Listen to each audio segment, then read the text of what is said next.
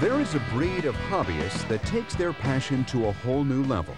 On any given sunny afternoon, you'll find these enthusiasts at their favorite park with their scale model cars, boats, or aircraft, testing their skills and their machines in the ultimate battle for superiority. And then there are these guys, devoted RC heads who live and breathe the sport. For them, it's not just a hobby, it's a lifestyle, a culture of high-tech performance taken to the extreme. These are serious toys with high-performance components. Veteran engineer Patrick Del Castillo has been flying RC planes his entire life. In 1997, Patrick turned his passion into an enterprise when he opened Castle Creations, along with a staff of over 30 employees. Patrick has worked hard to make Castle Creations a force to be reckoned with in the RC world.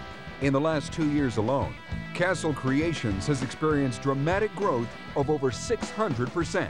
In the past five years, Castle Creations has really pushed the envelope of technology, making uh, electric propulsion for uh, model airplanes lighter, faster, cheaper, more available to the general public by incorporating a lot of very, very high-tech electronics into some of these uh, vehicles.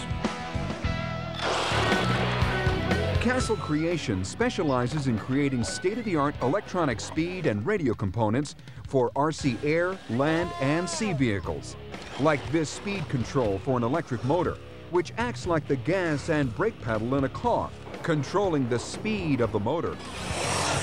Until recently, brushless controllers were considered too complex for accurate motor control, especially in land vehicles. It's all about performance. Power to weight ratio is where performance is in any vehicle. This is a really good example. This system right here is two and a half horsepower in about seven ounces. Using the latest in automated production technology, Castle Creations turns out high quality products that are reliable and will last for years. And they're backed by the best technical support and service infrastructure in the industry.